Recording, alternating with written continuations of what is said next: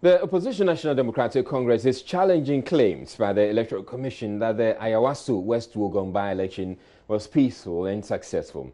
That's the position of the General Secretary of the party, Asiedu Nketia, at Wednesday's IPAC meeting. The NDC boycotted last Thursday's polls over violent, violent clashes that left many injured. Asiedu Nketia, Johnson Asiedu Nketia insists the violence disrupted the process and wants the EC to be candid about it.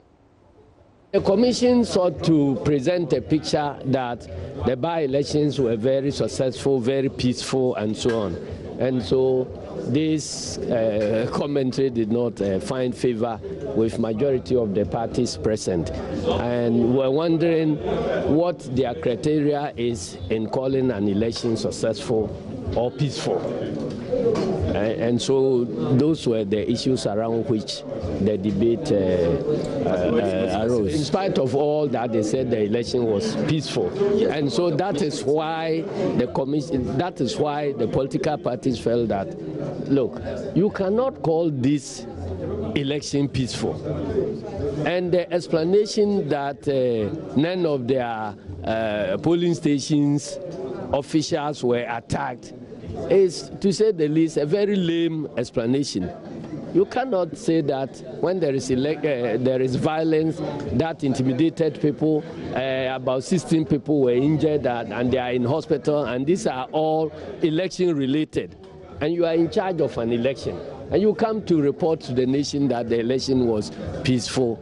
I, I, I, I don't get it because none of your staff uh, was attacked and the, the voting process was not disrupted. So that makes the election peaceful. It is, it is not any explanation that should sit well with it. In fact, we disputed the fact that this claim of Ayawaso by election being peaceful and the basis for the commission uh, arriving at that conclusion is wrongful and it should not be entertained at all anywhere because it will ridicule the commission itself. If any election management body can call this Ayawaso West Wuogon election as peaceful, uh, then they don't know what they're about. General Secretary of the New Patriotic Party, John Boadu, is however disputing the assertions. We don't come to IPAC for Electoral Commission to be detailing polling station to polling station. These people were beating here, these people were beating there, and all that. We were all at Akwetia. Just seven polling stations. And then the NDC gas president uh, Mama said they were masters at unleashing violence, and we all saw it. When we came back to uh, IPAC, the uh, electoral commissioner or commissioners giving their report, they don't take us through. They even witnesses directly. People who don't vote in polling stations were voting with abandon, with, with, with, with, with, even confidence. You understand? They beat people up, they maim people. We came back to IPAC and nobody discussed anything. We just discussed it, the result. It, it, was, and for me, for me, the NDC for me, says that most political parties disagreed and actually fumed who, at the Electoral Commission for who, concluding which, that which the was, election was peaceful. Which which which which are the most political parties talking about? You think? I mean, that's not that's not accurate. That is not accurate. They were accurate? please, please. Did they also tell you that when they raised the flag that electoral commission had bloated the register, it was sorted out with them and they agreed that the the, the thinking they had was wrong. Did they tell you mm. and consider that? They didn't say that uh, the electoral register was was bloated. Did they tell you? Mm. Did they? They so said so it. They were being selective with the They were. That's how they are. And I'm saying on authority that Bitsidin said that they did not ever say that the electoral commission bloated the register. The electoral commission believe that 137 polling stations, nobody was prevented from voting. Nobody was. Well, the electoral officers were allowed to do their duty without snatching because they were not part of it. They reduced their participation. There, nobody snatched a ballot box. So, so is it your you understand? Wait, that, I'm that, saying that because mm. they were not there, nobody snatched ballot box. So, so nobody throwing, changed ballot box. So you are there was no narrative that the election was peaceful. Was peaceful. But it wasn't peaceful. It was what? No, I'm so the election was peaceful. Was it peaceful? It is really for it, the NPP. Not for the NPP. Mm. For people in Ayawaso West Wuogon. Meanwhile, the Electoral Commission has been asking the political parties to address the vigilante menace. Here is uh, Director of Communications at the EC, Kofi uh, Dzakpasu. We do not have uh, that, but let's move on. An election observer group, CODEO, has described as misrepresentation some comment by the Electoral Commission on the group's report on the Ayawaso West Wuogon by-election violence. CODEO's report captured instances of violence during the by-election, but the EC issued a press statement rejecting portions of the report. At a news conference Wednesday, National Coordinator of CODEO, Albert Arhin, said its assessment was fair to the facts on the ground. Albert Arhin says CODEO does not see itself in an adversarial relationship with the EC, but working together for the common good. CODEO's observation efforts are aimed at complementing the efforts of the EC in ensuring electoral credibility. In discharging this responsibility, CODEO has always endeavored to work cooperatively and in good faith with the Electoral Commission as CODEO sees itself not as standing in an adversarial relationship with the EC, but as working ultimately toward a common end of ensuring transparent, credible, and peaceful elections and election management in Ghana.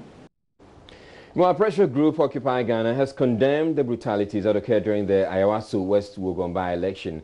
The group, however, has five questions for the National Security Minister on the deployment of armed men to the election grounds. And I'm going to share that with you uh, right now. Occupy Ghana.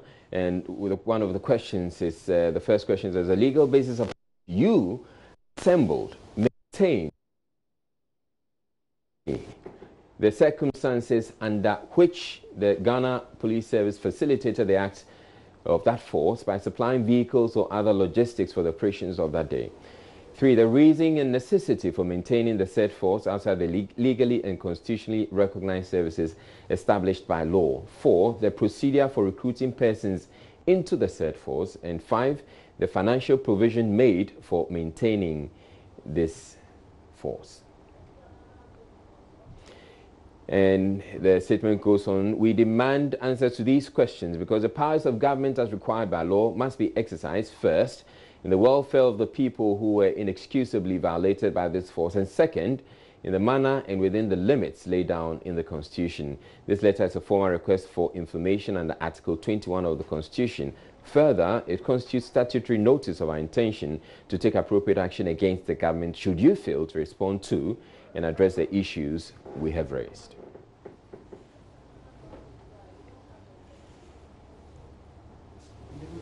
Well, following closely on that statement, the government has established a three-member commission of inquiry into the violence that marred last Thursday's by-election in the Ayawaso West Wuogon constituency in Accra. Former CHRAJ Commissioner Francis Emile Short will chair the commission. The statement issued and signed by Director of Communications at the Presidency, Eugene Arhin, reads.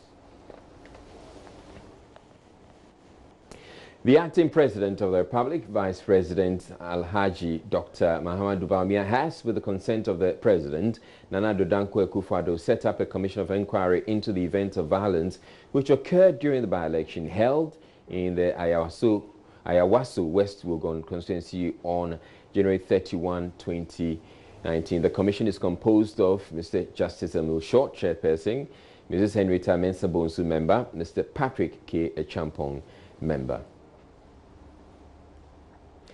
Uh, Mr. Kofi, Ernest Kofi Abotsi, former Dean of Faculty of Law, GIMPA, and private legal practitioner, has been appointed as Secretary to the Commission. The terms of reference are as follows. A, to make full, faithful, and impartial inquiry into the circumstances of and establish the facts leading to the events and associated with the violence during the Ayawaso West Wuogon by-elections on January 31, 2019.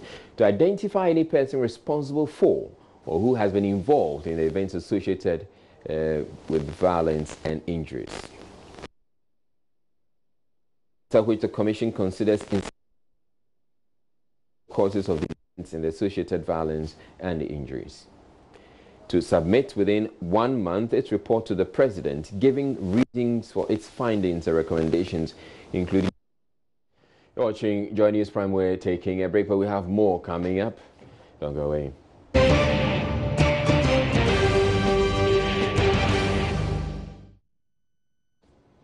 We're returning to our earlier story on the establishment of a three-member commission of inquiry into the violence that marred last Thursday's by election in the Ayawaso West Wuogon constituency in Accra. Now, the former CHRAJ Commissioner Francis Emile Short will chair the commission. The statement uh, was issued and signed by Director of Communications at the Presidency, Eugene Arhin. And the commission actually has a month within which to complete its work. But already there are persons who believe that the commission may not be necessary. One of them is lawyer John Ndebugre. And they have been, they, they can easily be identified. So I don't see the, the need of a commission of inquiry. With the greatest respect, that is my humble view. The IGP yesterday issued a statement, in fact, saying that they're expanding the criminal investigations into this matter and and told us for the first time who and who is part of that probe in terms of the committee. And I asked that same question of your president just before you came on. Which of these two bodies would you give uh, precedence in terms of looking into this matter? The IGP's criminal probe or this one? I will give precedence to the, uh, the IGP's probe. I, I don't want to call the IGP's uh, a decision uh, or what he intends to do a probe. a probe? No, an investigation, straightforward investigation. People have committed crime. So they should be apprehended, invest, granted bail, investigations will go through, and they will be charged and prosecuted. That is the end of it. So, uh, I mean, and, and the president of the republic has established a commission of inquiry. The IGP, an appointee of the president of the republic, is also carrying out some investigation. What is the meaning of that? I mean, I think that uh, we, with the greatest respect, uh, this question of uh, commission of inquiry, in my, my very humble view, is a non-starter. Anti-Corruption Agency Economic and Organized Crime Office EOCO says people should ignore a video circulating on social media aimed at damaging its executive director and staff. In a statement signed by Jacqueline uh, Avotri, Public Affairs Director of the office, the, it described the video as malicious and slanderous. It reads the attention of the Economic and Organized Crime Office has been drawn to a video circulating on social media to the effect that NAM1 uh, brother mentions top names of top officials who took money phones from Nana Appiah, authored by one KOD. The video is malicious and slanderous with the main aim of destroying the image of the office and reputation of the executive director. The supposed brother KOD of Nana Appiah has no basis for his allegations, which should state clearly that the statement is totally false. It continues that the executive director, Mr. KK Amoah, nor any member of staff of EOCO has in no time received cash of any denomination, nor mobile phones, nor 4X 4x4 Land Cruisers from Nana Appiah. The office is of the opinion that the freezing of the assets of Menzgold Company Limited and its associated companies has incurred the displeasure of some beneficiaries of Menzgold Company Limited, which may have prompted circulation of the video. The video and its alleged content will not deter the office from retrieving and preserving the assets owned by Menzgold and its associated companies. And this is signed by Jacqueline Avotri, Head of Public Affairs uh, the economic and organized crime. Uh, Member of Parliament for Tamale North, Alhassan Sayibu Suhuyini, was on Wednesday ordered to leave the floor of Parliament by First Deputy Speaker Joseph Osei Owusu. According to correspondent Joseph Opoku Gakpo, the MP was disrupting proceedings of the House after the majority had moved an application insisting that the minority apologize to the Ayawaso West Wuogon MP Lee Hassan for describing her as quote-unquote bloody widow on Tuesday during her swearing in.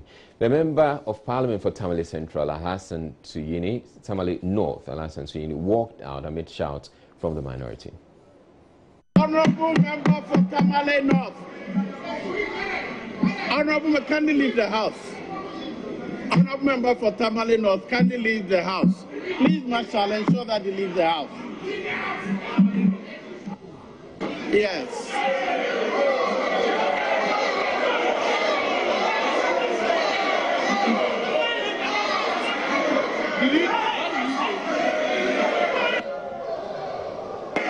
Order! Order! Order!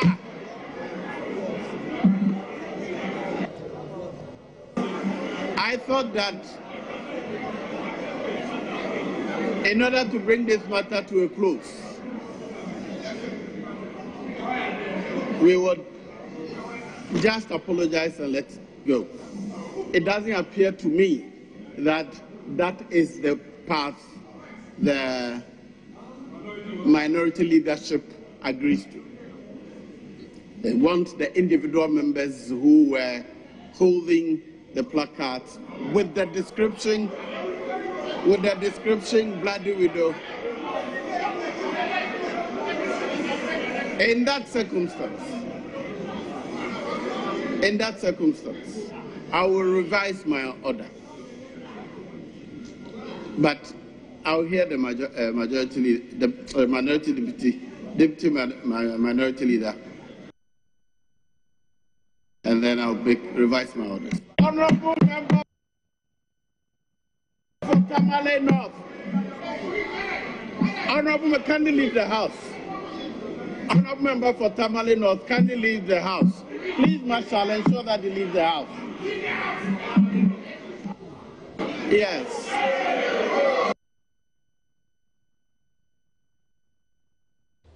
Earlier, the first Deputy Speaker of Parliament, Joseph Wusu, had ruled that MPs who describe the newly elected Ayawaso West Wuogon MP as a bloody widow will be identified and referred to the Privileges Committee.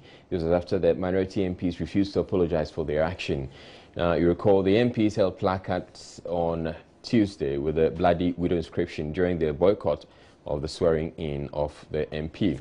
The minority MPs have justified their action, saying Lydia Hassan benefited from the bloody by-election but the majority says the action was uncalled for.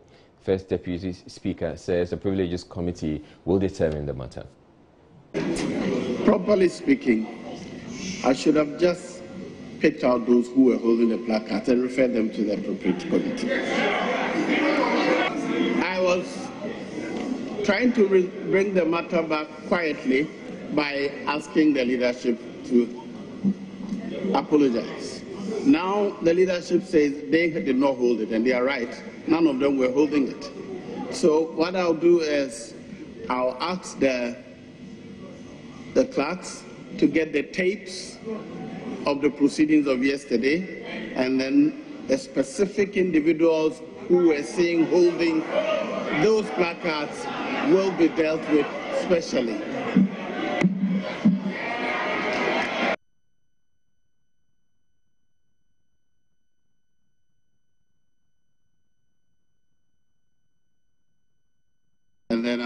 Revise my order.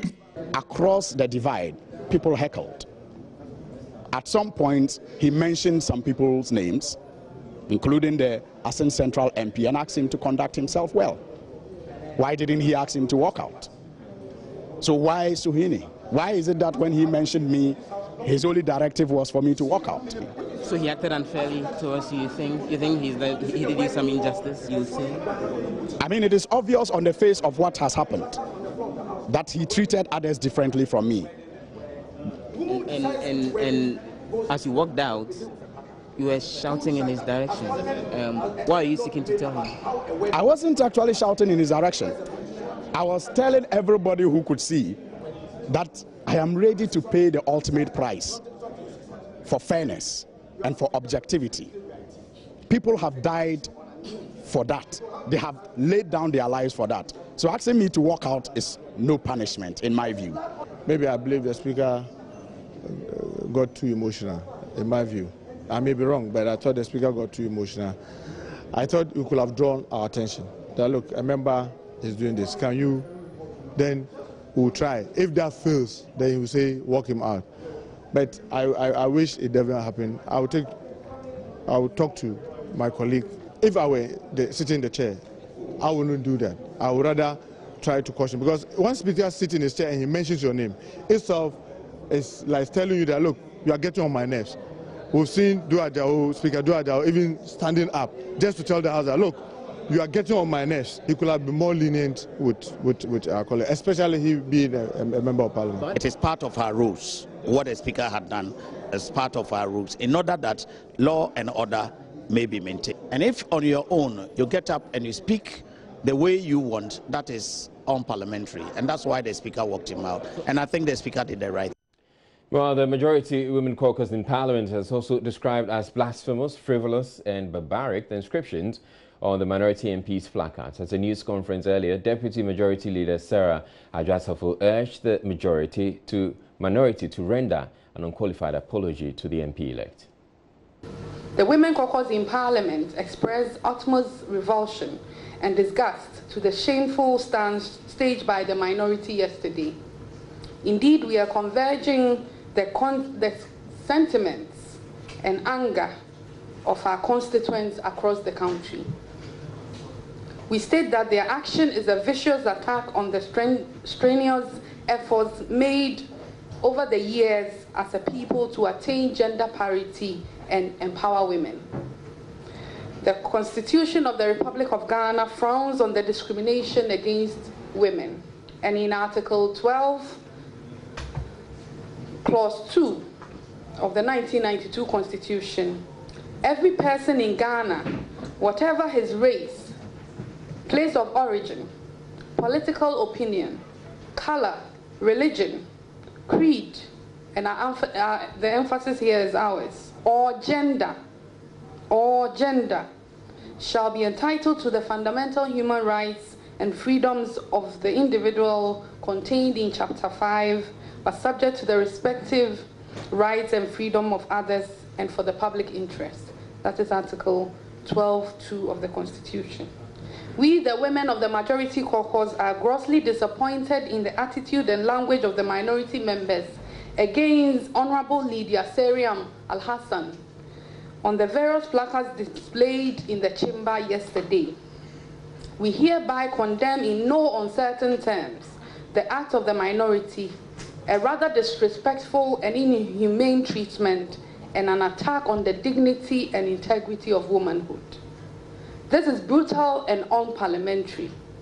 Order 93.2 of our standing order states, it shall be out of order to use offensive, abusive, insulting, blasphemous, or unbecoming words or to impute improper motive to any member or to make personal allusions. We are absolutely concerned, convinced that the language on the placards was grossly unparliamentary, frivolous, barbaric, and unconstitutional. Well, Ayawaso West Wuogon MP Lydia, Lydia Seyram Al says she is forgiving the minority for describing her as a bloody widow. I'm, I am here this afternoon in my capacity as the MP. It is my first duty to come through here and visit the injured. He is responding to treatment, and um, I regret the incident. I regret it, and I'm happy there's a committee in place to investigate. I urge the police to work hard and get to the bottom of this. They should work without fear and favor. This is a simple democratic exercise. Uh, we shouldn't have gone to this extent. What happened yesterday is unfortunate. Um, they started this from day one and I'm surprised, especially the ladies in parliament who want more ladies to join leadership will do this.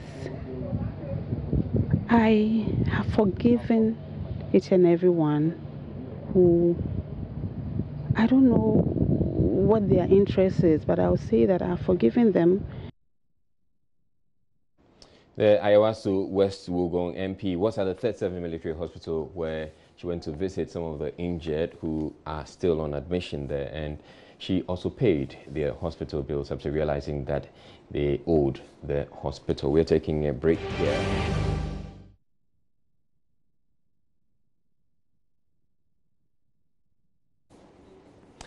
Now, with 245 Ayalolo buses grounded, commuters who once patronized the bus rapid transit service are now having to rely on the regular minibuses that transport passengers around the city.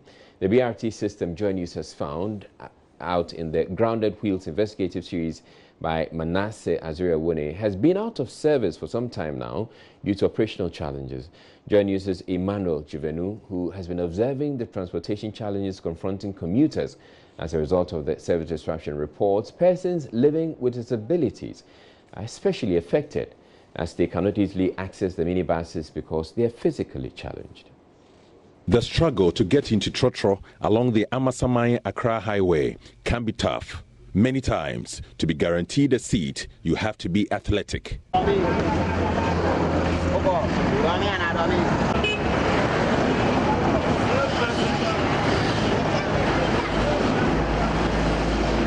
For this reason that the Ayalolo Bus Rapid Transit System was inaugurated in 2016 to provide decent and time-bound transport services to commuters in Accra. Unfortunately, 59 buses deployed in the Greater Accra region have all been grounded. Passengers along the Amasaman Ofankor Achimota to Accra routes now have to struggle for Trotro. Shireen Donyo is visually impaired.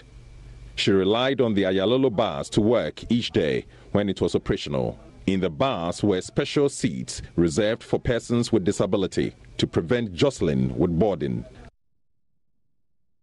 Joining the Ayalolo was so convenient because when you are visually impaired or any disabled, there is a special seat reserved for you.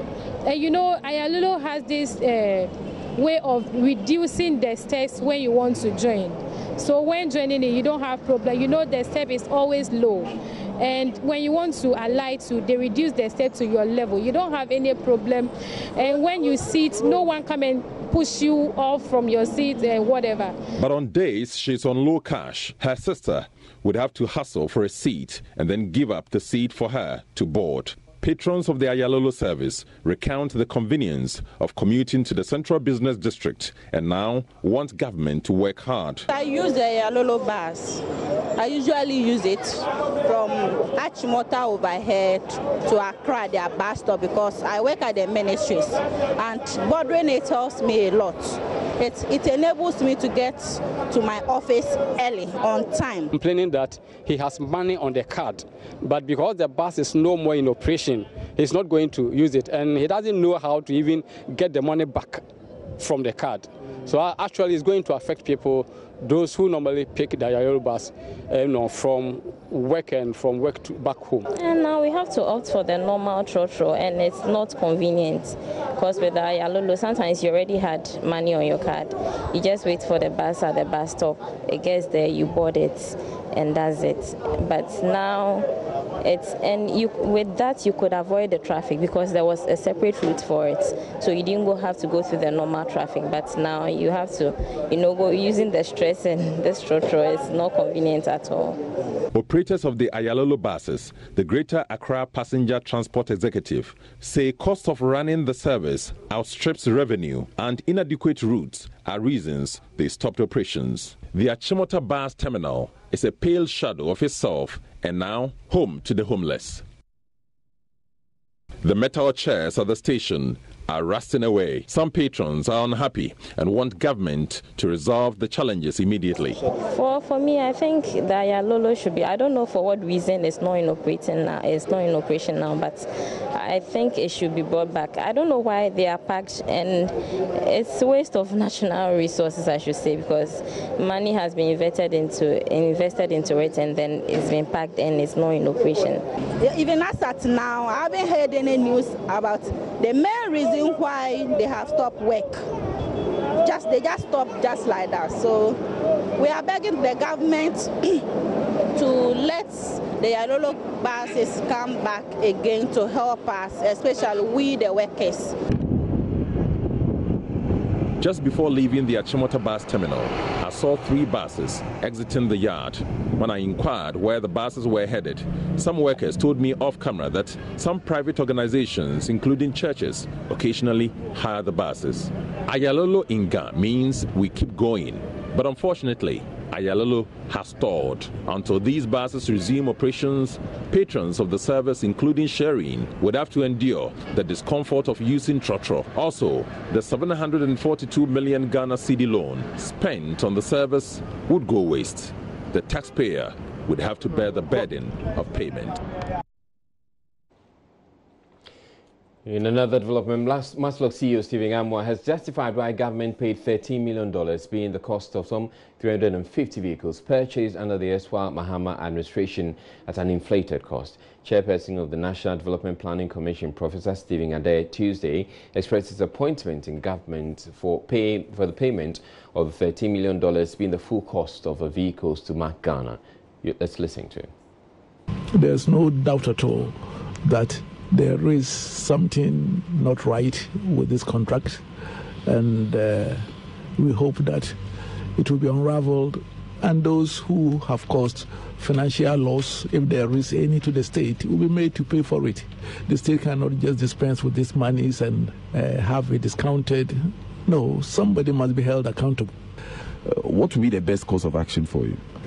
Well, I don't think that uh, anybody, not me, anybody will do this in their own private company. And at this moment, I think that the least that can be done is for the Ministry of Finance to revoke the conditional uh, tax waiver because it was not approved by Parliament.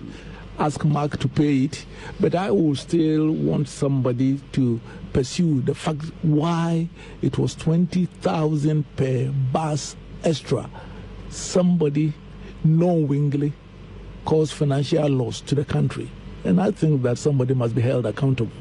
But I'm quite surprised because uh, I'm not a lawyer. But if a contract is clearly, as it appears, tainted with corruption, with about uh, the price about 20,000 inflated per bus. Yes, I'm quite surprised that it's being paid at its face value and the negotiation didn't make any difference. That's quite what surprising. Of. It sounds to me too fishy, and not only part being fishy in the past, but too fishy now. But speaking to join us after the investigative report was aired on Tuesday, MASLOC CEO Stephen Amoah explained the decision to pay the car company was because the Attorney General advised them to do so. If anybody had interest in terms of monetary or financial, why will you go ahead and even allow the issue to go to court? Two, we're not so stupid. Does the professor mean that if a company, two companies signs a contract, one to purchase number of items from the other, agreed on a figure and signed, and then the management of the company that is supposed to purchase those items hand over the company to another management. And the contract is binding. The new management is not supposed to pay. Is that what the, is that what my professor is telling me as a young man? Please. I don't think it's everybody that is in politics that is interested in corruption. And it's unfair to say that a government that is claiming to protect government pays. It's very unfortunate. There was me, I'm not a legal practitioner, but this is the note from Attorney General's outfit that the contract was valid and that we should go ahead and pay. It's here. Read it. MASLOC entered into a valid contract with the two companies involved. The companies have delivered the vehicles and MASLOC has taken possession of same. MASLOC has failed and stroke or refuse to make payments to the companies involved in accordance with the provisions of the contract signed. Taking custody of the cars was done by the NDC regime, my predecessor. Signing the contract that is binding us today as a government to avoid any so called judgment debt that the same people think we plan to do judgment debt and there was something fishy. Was done by the NDC government, not us. So, what are they talking about? There are genuine people in this country that want to help sacrifice everything they have for Ghana.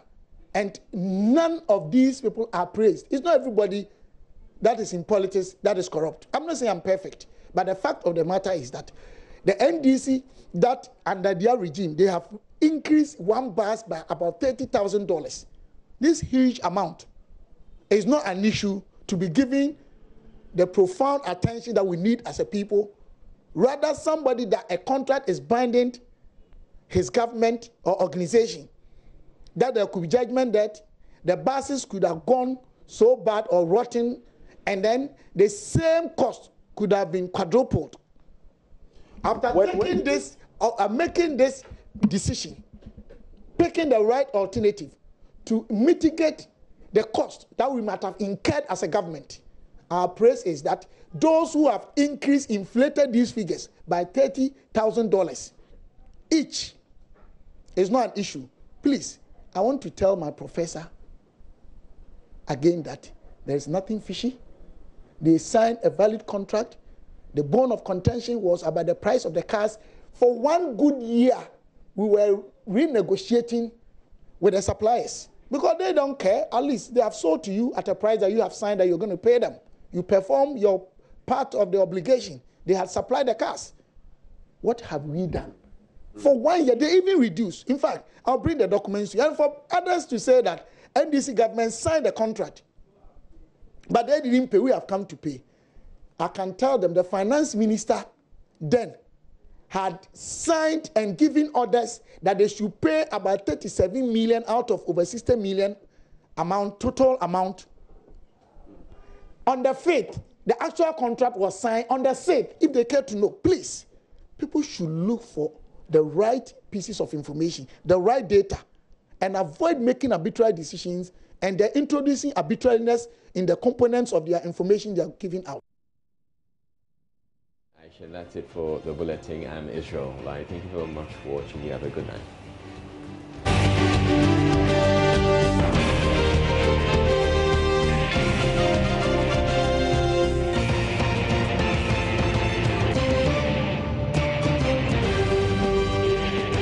This is Joy News Prime.